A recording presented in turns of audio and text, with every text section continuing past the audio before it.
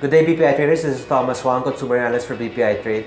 I'm here to talk about a recent published report on CNPF's 9M14 performance.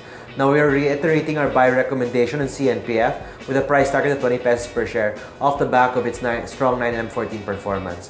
For the first uh, nine months of 2014, CNPF was able to book more than 15 billion pesos in revenues and more than 1.2 billion pesos in net income. Now, this 1.2 billion pesos in net income is actually 65% higher than the company's full year 2013 net income, and it's more than 14% higher than our estimated net income for the period.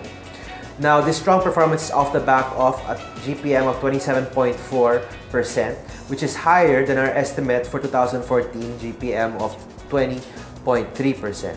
That is almost 10 percentage points higher than its FY13 GPM.